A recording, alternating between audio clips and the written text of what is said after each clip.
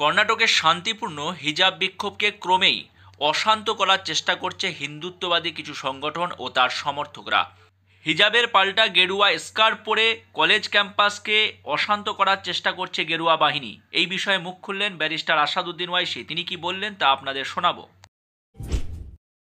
हमारे मुल्क में खास तौर से कर्नाटका में जो हमारी बहनें हिजाब की लड़ाई लड़ रहे हैं हम उम्मीद करते हैं कि अल्लाह सुबहाना ताला उनको उसमें कामयाब और कामरान कर देगा। जो हिजाब की लड़ाई एक बुनियादी हक है और सुप्रीम कोर्ट का फैसला है कि सुप्रीम कोर्ट ने पुट्टू स्वामी जजमेंट में कह दिया कि कोई सरकार ये तय नहीं कर सकती कि हम क्या खाएँगे और क्या पिएँगे। क्या पहनेंगे, क्या खाएँगे? तो बीजेपी की सरकार कर्नाटका में गैर ज़रूरी के जुल्म कर रही है संविधान के खिलाफ काम कर रही है बल्कि संविधान की आर्टिकल 15, 19 और 21 का ग्रेव वायलेशन हो रहा है कि वहाँ के महिला बच्चियों को स्कूल में और कॉलेज में हिजाब पहनने से रोका जा रहा है। मैं बीजेपी के इस फैसले की मजम्मत करता हूँ कंडन करता हूँ जो एक सुप्रीम कोर्ट का फैसला नहीं, बल्कि पुट्टू स्वामी जजमेंट के खिलाफ है, जो सुप्रीम कोर्ट का नलसा जजमेंट है, उसके खिलाफ है कॉमन कॉज जजमेंट के खिलाफ है।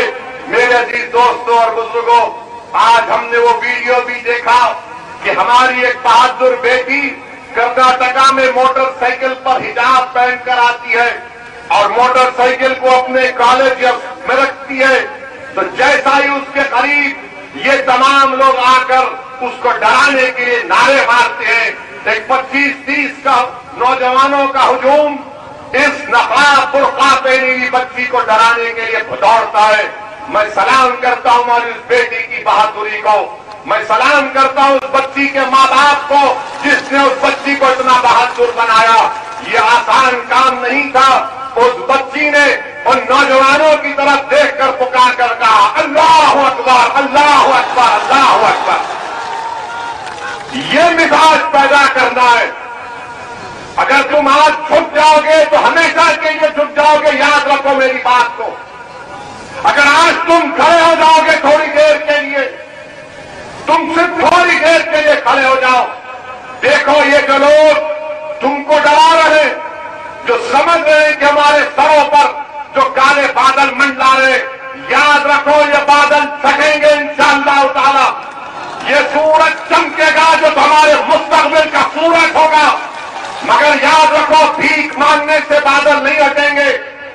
भीख मांगने से बादल नहीं हटेंगे। लड़ेंगे जमहूरी तरीके से तो हक दिया जाएगा।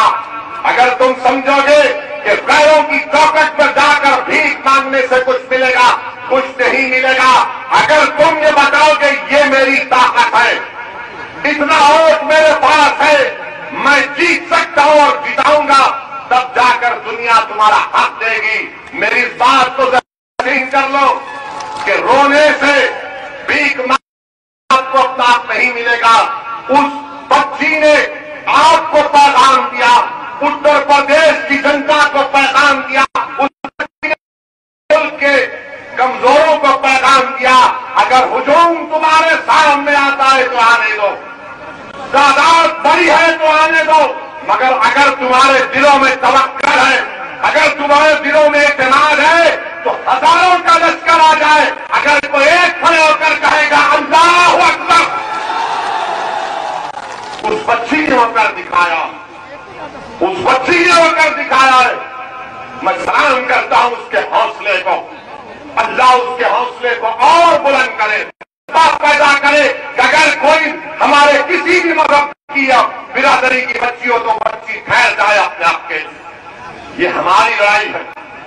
इस लड़ाई को समझने की जरूरत है